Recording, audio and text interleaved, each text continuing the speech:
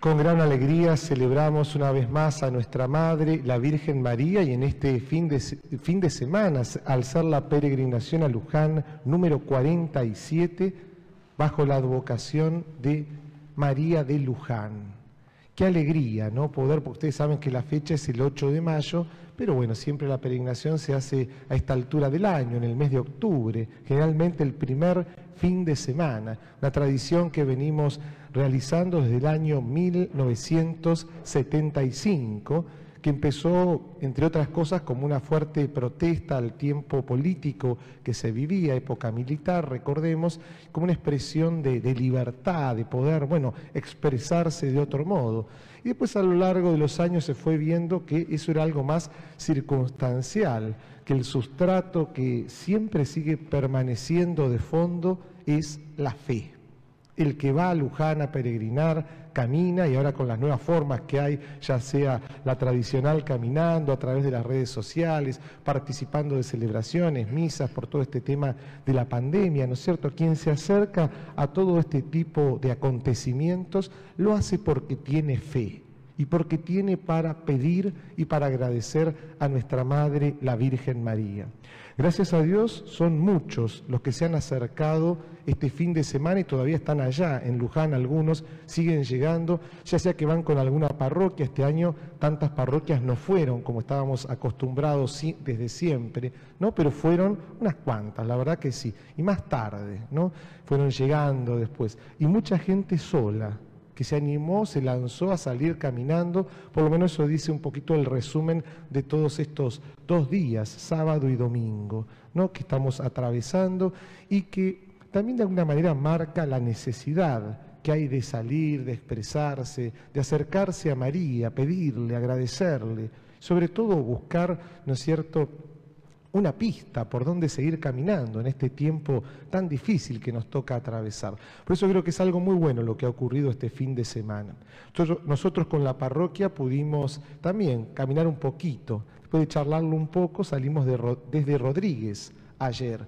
Y la verdad que creo que nos ha ido muy bien. Alrededor de 40 personas el grupo en total hicimos alrededor de 18 kilómetros, no importa tanto la cantidad, sino el acontecimiento. ¿no? María nos esperaba en la puerta de la basílica, ella estaba allí, la imagen original, ¿no es cierto? La habían eh, bajado, ¿no es cierto?, desde el lugar donde está siempre, con el blindex, al lado de la lámpara, con el aceite de la Virgen tan tradicional que ha curado a tantas personas, tantos milagros ha hecho. Y bueno, y el pueblo de Dios que fue circulando a lo largo de toda la jornada, cuando nosotros fuimos había gente, pero no tanta. Después empezaron a llegar las parroquias, ya más organizados todos, tuvieron distintas misas. Y hoy a la mañana nuestro arzobispo, el cardenal Mario Poli, presidió la misa principal allí. Hizo una pequeña milía, muy breve, pues estaban todos doloridos después de caminar. Imagínense, él mismo dice cuando este, va a comenzar que se propone ser breve y lo ha sido realmente. Y da dos, tres ideas allí y la primero que nos dice es algo que, que no está de más volverlo a repetir. Lo sabemos, pero nos hace bien escucharlo. Cada vez que nosotros vamos a Luján, vamos de alguna manera a reafirmar el amor que Dios nos tiene. Que María desde el año 1630 se haya querido quedar a orillas del río Luján antes que la República Argentina existiera como tal. Sí, María se quiso quedar en nuestra tierra para acompañarnos, para caminar juntos con nosotros, es realmente un signo del amor, de la ternura, del cariño, de la misericordia que Dios nos tiene.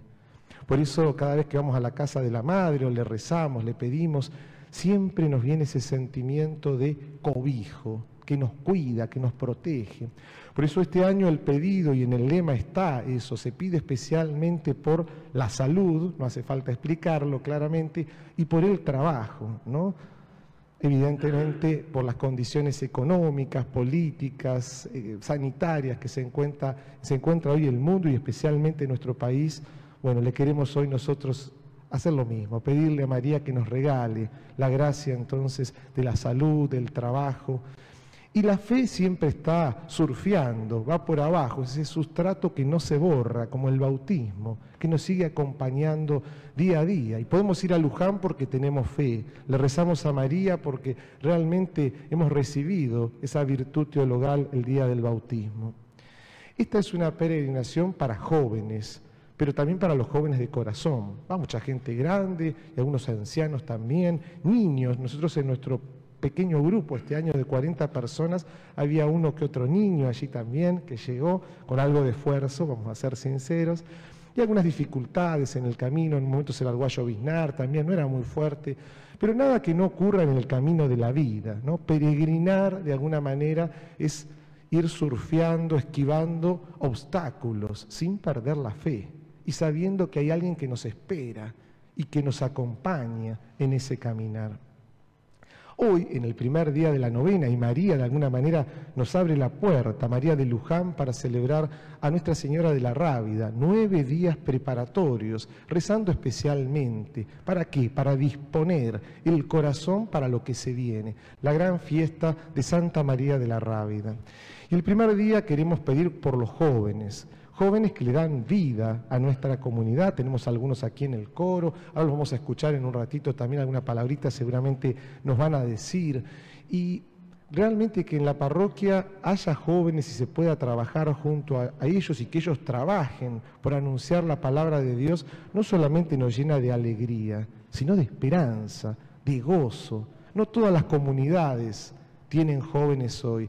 Por eso en esta misa no solo pedimos por ellos, yo agregaría agradecemos al Señor la valiosa presencia de cada uno de ellos. Y por supuesto, sí, pedimos por sus intenciones. Hoy nuestro seminarista Nacho, que es el encargado de acompañarlos siempre y trabaja codo a codo con ellos, está ya empezando su campamento, ¿no es cierto?, el campamento con el seminario. Por eso no está presente hoy acá, sino lo estaríamos escuchando a él. Pero bueno, ustedes saben que este trabajo se viene haciendo de generación en generación, se podría decir, en la iglesia. Los jóvenes son el futuro. Ya lo dijo tantas veces el Papa Francisco, esto siempre les recomienda que hagan lío a los jóvenes, lío del bueno, ¿no? porque eso es lo que mantiene de alguna manera vivas las estructuras de la iglesia. Desde luego que es el Espíritu Santo el que anima y vivifica, pero hablando humanamente, ¿Quiénes son los que más ruido, lío y movimiento causan? Los jóvenes, ¿no? los niños y los jóvenes. Bueno, hoy detenemos nuestra mirada sobre ellos y sería lindo escucharlos que nos cuenten algún testimonio, algo sobre lo que van haciendo en los grupos, algo que les haya llamado la atención, algo que ustedes quieran expresar, aunque sea breve, no importa, pero nos gustaría escucharlo. Así que si se animan, les damos paso a ustedes. Ahí está.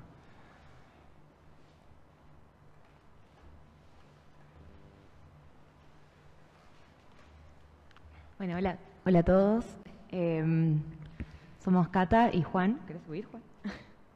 bueno, eh, nos pidieron que pasemos a nosotros dos porque como una representación de joven que, bueno, yo vengo desde que soy chiquita a la parroquia y Juan empezó a venir hace unos meses, como bueno, para dar también eh, un poco las dos visiones de testimonio.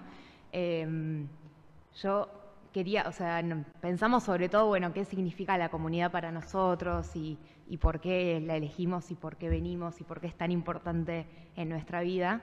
Eh, un poco con lo que decía Nico recién, eh, yo pensaba ayer cuando volvíamos de la peregrinación a Luján en el micro, íbamos comentando algunos que alguna vez habían ido caminando a Luján solos, qué diferente es cuando uno va en grupo a Luján, eh, en esa caminata tan larga y que muchas veces tiene dificultades con la lluvia o con el cansancio, con las ampollas que salen, que uno se desanima en algunos momentos, que distinto es cuando va con un grupo, cuando va conociendo a la gente que lo acompaña, cuando sabe que el, que camina al lado tiene la misma meta, el mismo fin. Eh, y bueno, un poco esa es la vida en comunidad, me parece, para, para mí y para todos los jóvenes, ¿no? Como el saber que estamos acompañados por toda la parroquia, desde los más chicos hasta los más grandes, eh, que venimos creciendo en esta comunidad que se termina convirtiendo en nuestra familia, eh, familia de la fe, pero que justamente nos acompañan en ese crecimiento que sabemos que siempre están para nosotros eh, en las dificultades, o sea, en Luján la dificultad es la lluvia, las ampollas, bueno, en la vida de fe son otras las dificultades que todos tenemos, pero saber que, el otro siempre va a estar eh, y que tenemos esa misma meta que es el cielo y la santidad, nos ayuda un montón. Entonces, bueno, como decía Nico recién, agradecer eh, que, estemos todos juntos y que a pesar de, las dificultades y de los años, nos sigamos manteniendo unidos. Eh, nada, nos, hace mucho bien a nosotros. Muy bien, muchas gracias, Cata. Ahí está, le damos un aplauso, sí, muy bien. Ahí está.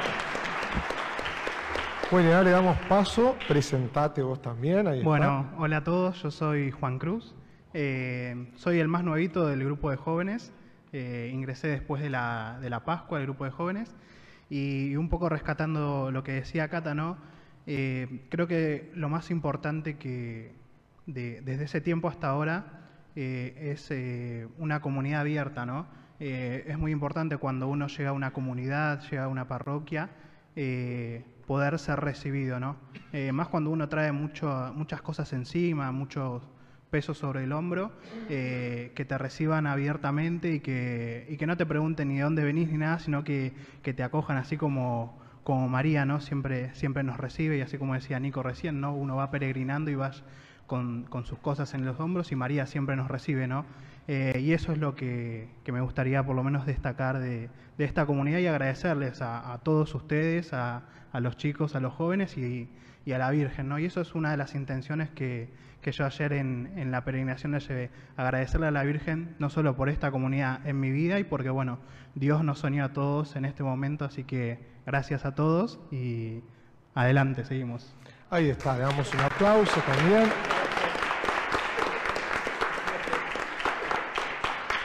Bueno, gracias a los dos, ahí está, muy bien. Y Cata mencionó la palabra familia, y ahí me acordé, ¿no? El cardenal Mario Poli, después los invito a ver el pequeño video. Si dura cuatro minutos es mucho, la familia um, el centro yo creo que es la familia. Él eh, menciona esa palabra, esa realidad, ¿no es cierto? Diciendo, bueno, los argentinos, algo que tenemos que rescatar es la familia, dice, porque de allí surge todo. ¿no? Y eligió eh, la humildad de Luján frente a nuestra madre para mencionar, ¿no es cierto?, la palabra familia. Y yo mientras escuchaba a Cata y también a Juan Cruz, pensaba, celebrar las fiestas patronales es celebrar a nuestra gran familia de la Rábida, familia de fe, como recién mencionábamos, ¿no? No es de sangre, evidentemente, pero a veces los lazos de fe son más fuertes que los de sangre. ¿eh? Cada uno conoce su historia, conoce su familia, aprovechamos para pedir por cada una de ellas y también para pedir por nuestra querida, nuestra gran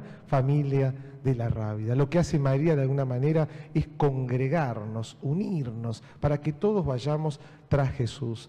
Por eso queremos dejarnos mirar por la Virgen. Sí, nosotros la vamos a mirar a ella, pero ella nos devuelve también esa mirada sanadora ¿Por qué sanadora? Porque lleva la presencia de Dios, porque nos traslada, nos lleva a la presencia del Señor. Generalmente cuando uno está en dificultades, tiene problemas, está desesperado, tiene tal o cual cuestión, si se toma un ratito, se serena y la mira a la Virgen, enseguida recibimos el apoyo, la fuerza necesaria para seguir caminando.